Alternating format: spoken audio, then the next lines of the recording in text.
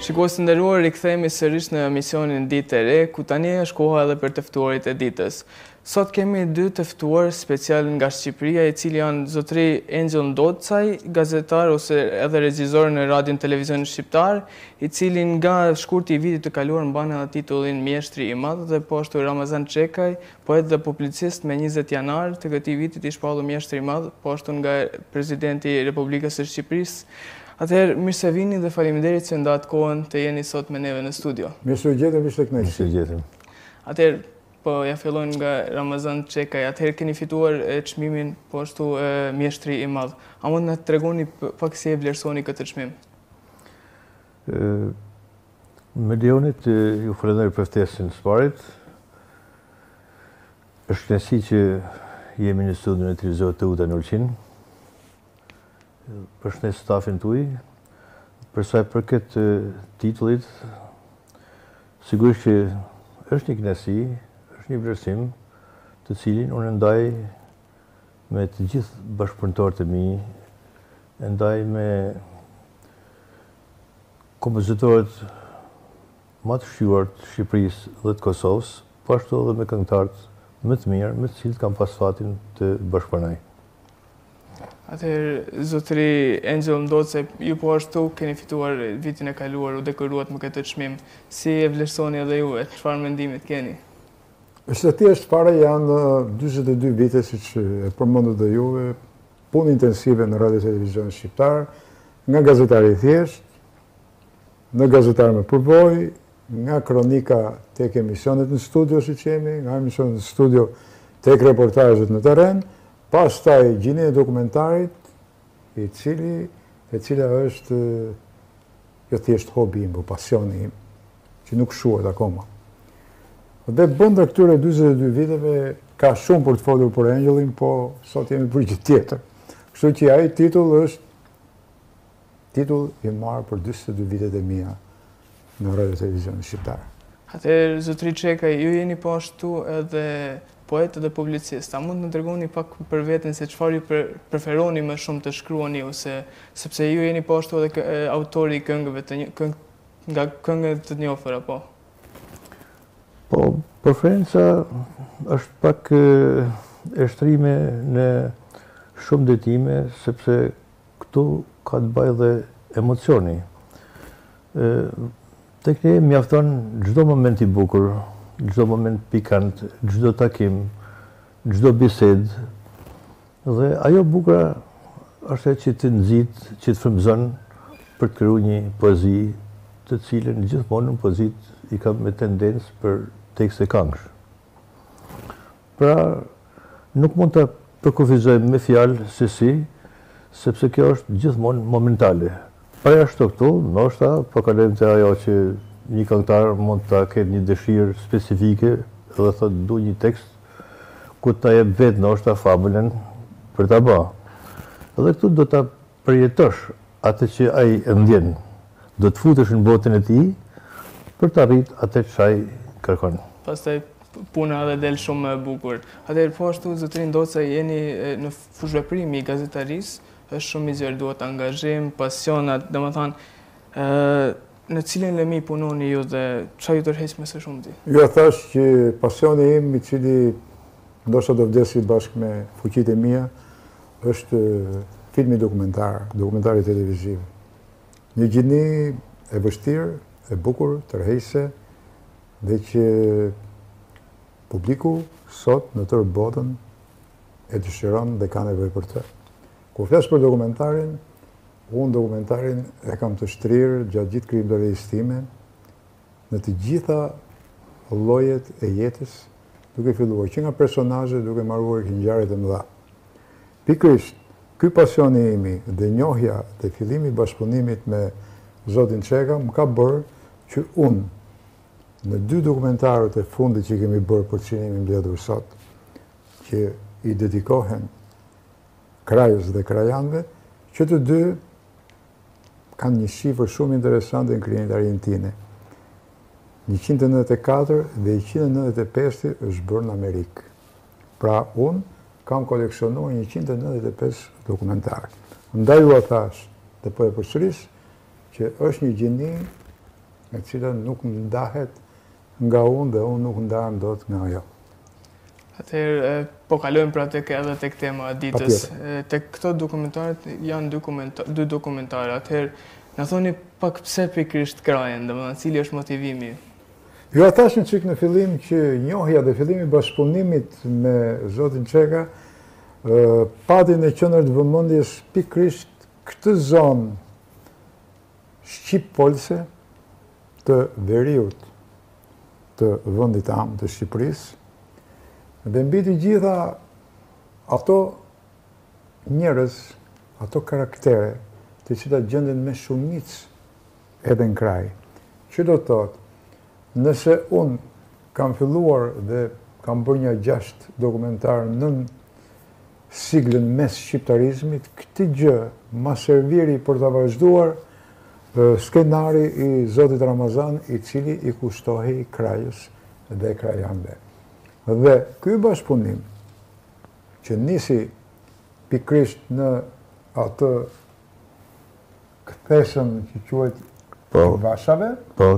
që nisi në shteg Vash. Në shtegun e Vashës që nisi, aty ku nisën dhe xhirimet, Ky vazhdoi pastaj dhe në Amerikë dhe jemi që të dy kolegë, zotëria ka vazhduar skenarist, unë kam vazhduar regjizor. Sigurisht që mes tanë ka qenë operatori Arben Tafili, montazheri Endrit Xhibri dhe kjo katërshe përfshi edhe ndihmën e pakursyer që na ka dhënë një djalë ulqinak në moshën tuaj me emrin Endrit duket.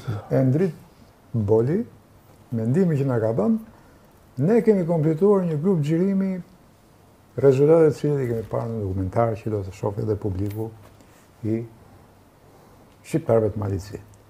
Atëherë zotëri Çeka, ju keni qenë skenaristi në këtë këto dokumentare, domethënë si ishte të të realizonit një skenar të tillë, sepse e dimë që Kraja ka shumë pak banorë. Edhe, si ishte?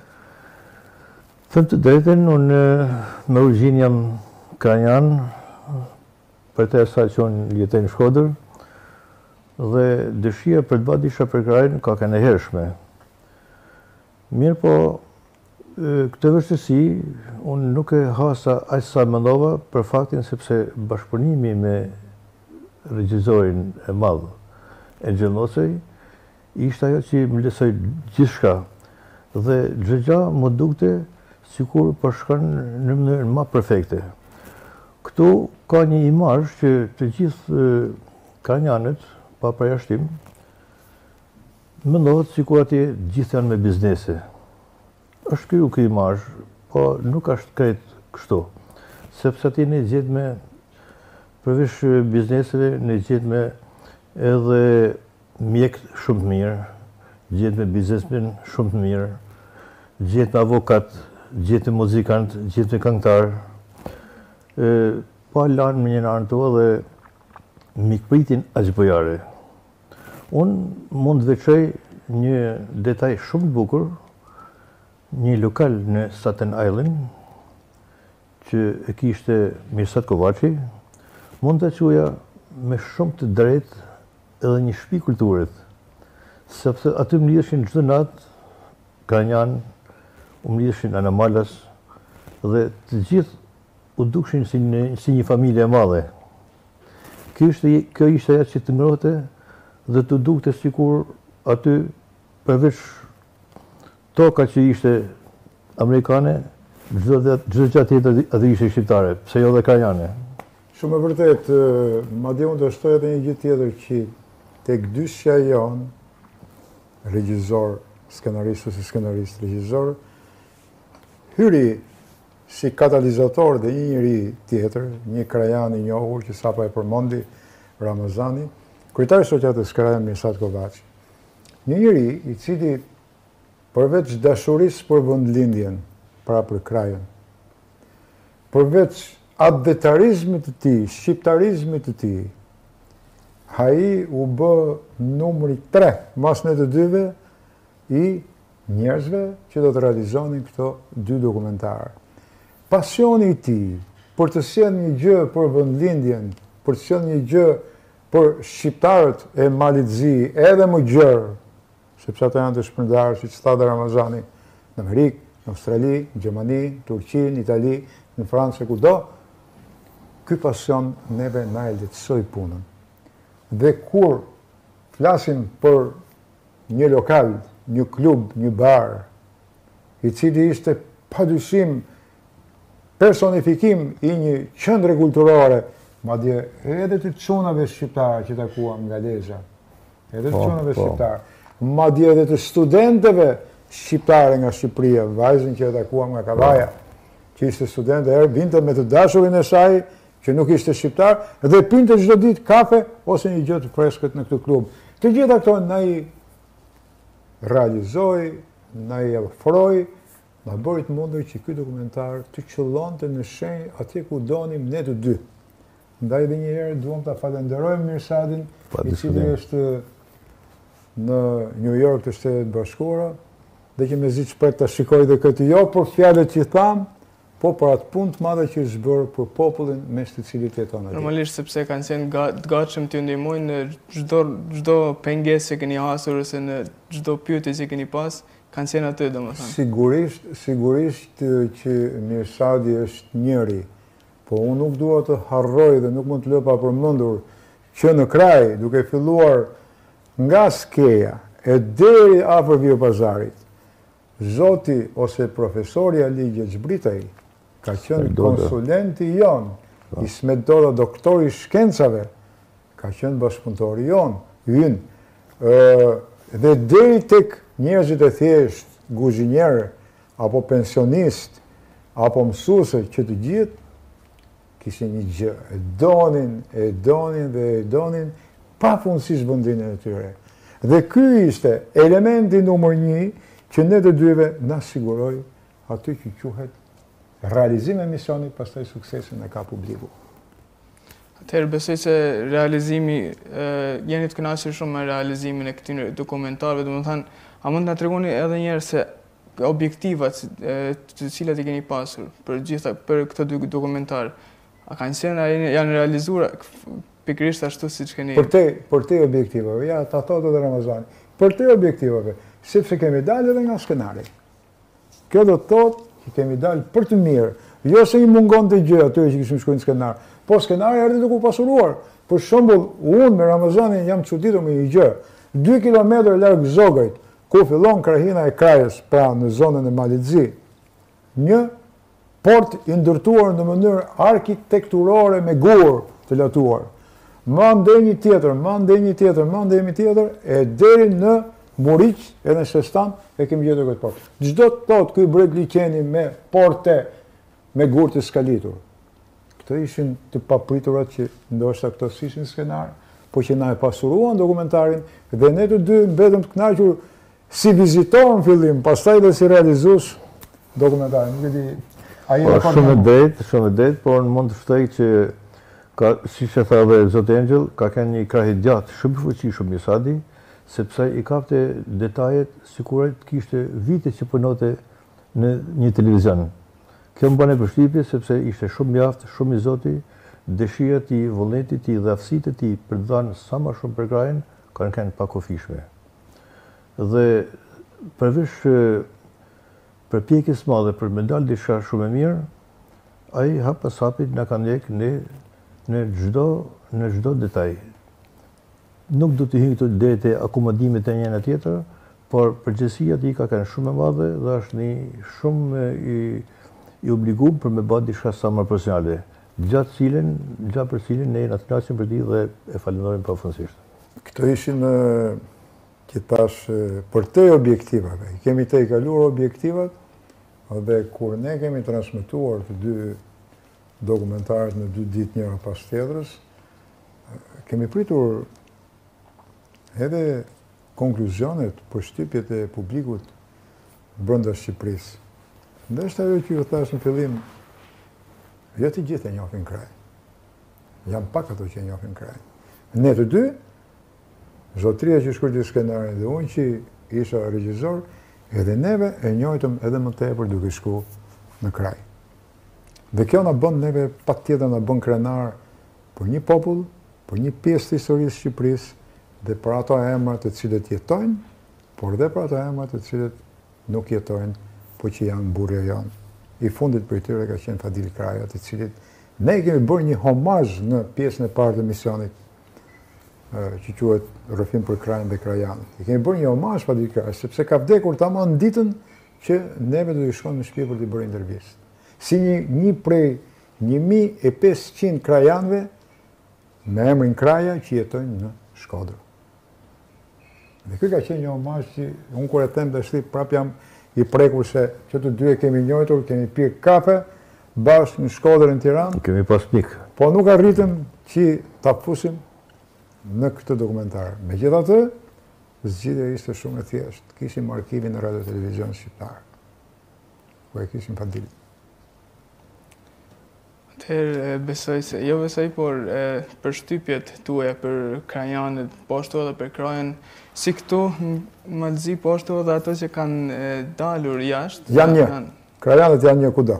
Po. Domethënë përshtypjet tuaja janë në përgjithësi overall janë shumë të mira. Edhe i keni kaluar shumë si po ashtu në Në sjelljen e këtij dokument, këtyre dokumentarëve, po ashtu edhe me njerëzit, me gjithçka keni kaluar mirë, domethënë kur vjen pyetja për Krajën dhe krajanët. Më fal, në qoftë se zoti Engjëll m'lejon, këtu do të veçoj një element që ka të bëjë me traditën shqiptare, aq më tepër me traditën e krajanëve. Do të mbetet e paharrume për ne nata e fundit, që ata u mblodhën në respektin tonë, me na përcjellë ne, u mblodhën në një lokal plot njerëz të një shqiptari të një krajani bile Çekaj i fisit tim të Agim Çeka dhe aty pam një sofër të madhe pam që aty nuk u dallonte se ka një shoqëni apo miqsi po si me kenë të gjithë një familje Të gjithë të një shpie. Aty nuk u dallonte kush është avokati, kush është doktori, kush është punëtori, biznesmeni, punëtori. Pra, një respekt i jashtëzakonshëm, sa që mund të them tashti me një bindje të plotë që vështirë me gjetë sot e ditë atë lloj bujarie e mikpritje. Dhe dua të paktën për vete ta mbyll me natën e parë, se foli për natën e fundit. Nuk e harroj natën e parë, kur ne të dy Jemi ulur në një oxhak, sikur ishin sjellë nga Kraja. Kemi pirë atë rakinë tradicionale të shqiptarit, të servirur nga një vajzë me kostum popullor, të importuar nga Kraja, po përdor fjalën import, ashtu si dhe rakinë, dhe kemi ngrënë gështenja të pjekura të cilat na i servirën prapë dy vajzat e tjera të asaj shtëpie. me kostume popullore dhe ishin gështenjat e Krajës. Nuk kam ça të them më, por... Më të mira se gështenjat e Krajës nuk kemi gjetë në jetë. Nuk kam ça të them më. Foli për natën e fundit, foli për natën e parë, unë s'kam ça të them më. Unë uroj që publikut shqiptar të Malit të Zi, përmes valëve të televizionit Teuta, t'i pëlqejë cikli ynë, për Krajën dhe krajanët. Atëherë pra këtu do ta mbyllim edhe bashkëbisedimin tonë, edhe ju falenderojmë shumë për që keni qenë të ftuar, keni nda ditën një pjesë të ditës tuaj për emisionin tonë Ditë e Re dhe për televizionin Teuta. Atëherë shikues të nderuar, falenderojmë shumë Engjëll Ndocën dhe po ashtu Ramazan Çekaj për pjesëmarrjen në emisionin e mëngjesit.